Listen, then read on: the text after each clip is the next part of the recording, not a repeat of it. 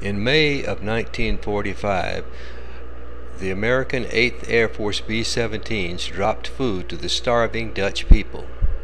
In September of 1944, the British had tried an assault on the bridges over the Rhine, and this had failed. As part of that assault, the railroad workers went underground.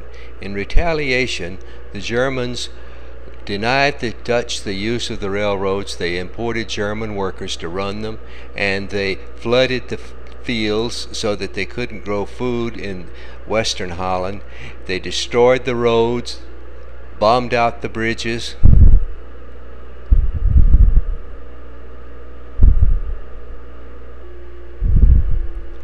And the canals were mined so that there was no way to transport food the Swedes and the Swiss tried to tr supply food by ship, but this was just too slow. So the Dutch government in exile appealed for help.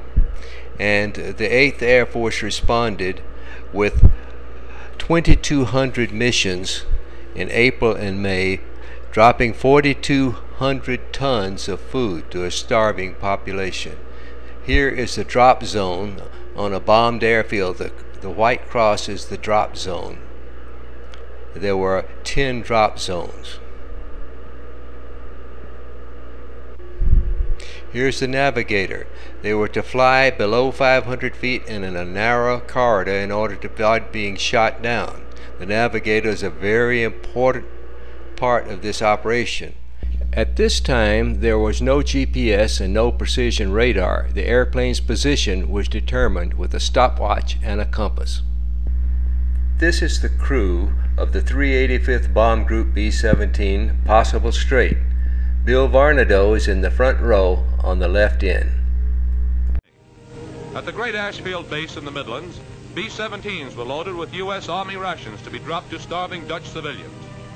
Some missions had to be scrubbed when German commanders were reluctant to negotiate a short armistice, guaranteeing planes safe passage on the Mercy runs.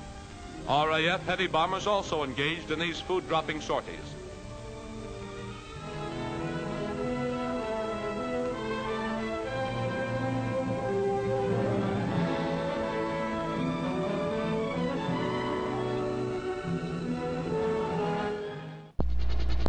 Here the airplanes are taxiing out for takeoff in the rain.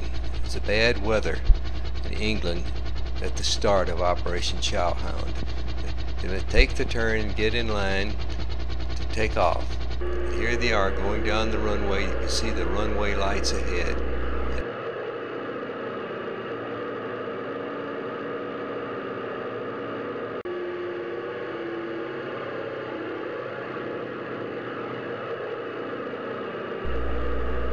Here we are arriving on the coast of Holland.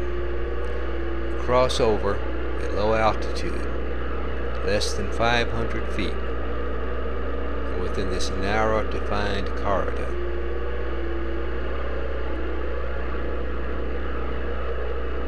You can see the flooded fields all across the land. And here's the food drop.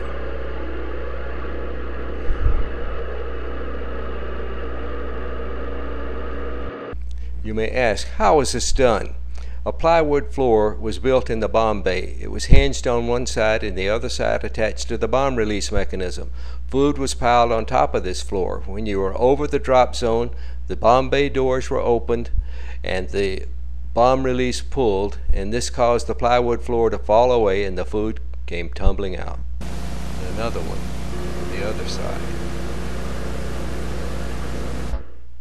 These Dutch home movies show how folks were living in the town receiving this food drop. There are children on the street, there are women on the street, but you don't see men and you don't see vehicles. The Germans had conscripted most of the Dutch men and taken them into Germany to work in the war factories. The railroads were now being run by Germans imported to run the railroads and deny the Dutch the use of them in retaliation for their cooperation in Operation Market Basket.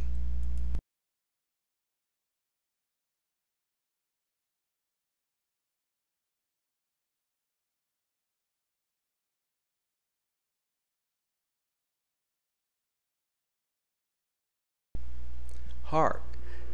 Young Hans Brinker hears something. It's the planes of the 8th Air Force the people on the ground would wave dish towels at the airplanes. They would stand around the drop zones, and sometimes even in the drop zones.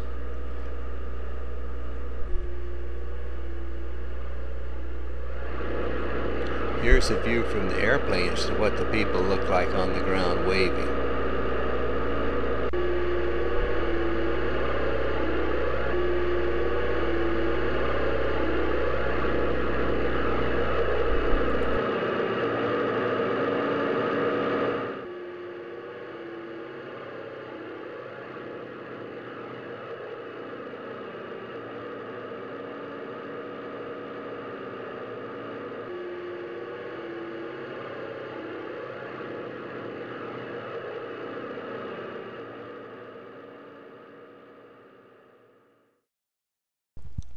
The folks on the ground are still living on the edge, but thanks to these men of the 8th Air Force, the children now have something to eat.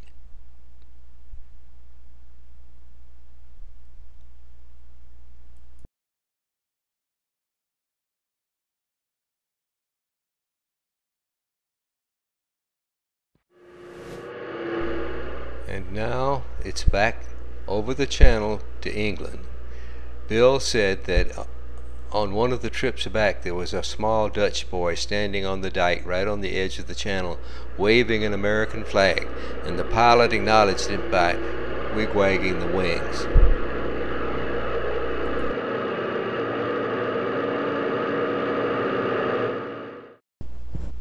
The, the missions these aircraft flew were not without risk.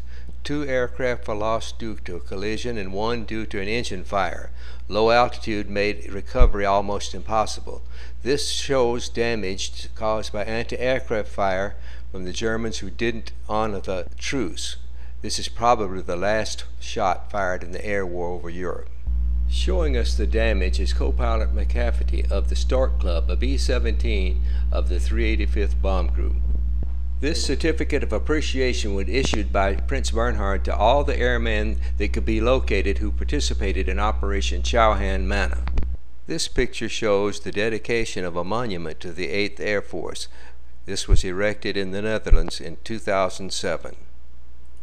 This is a commemorative souvenir from 1995 at a reunion of the alumni of the uh, Operation Chowhound. And this is our host, Bill Varnedoe telling us how it was. Thank you, Bill. He provided the video and the idea.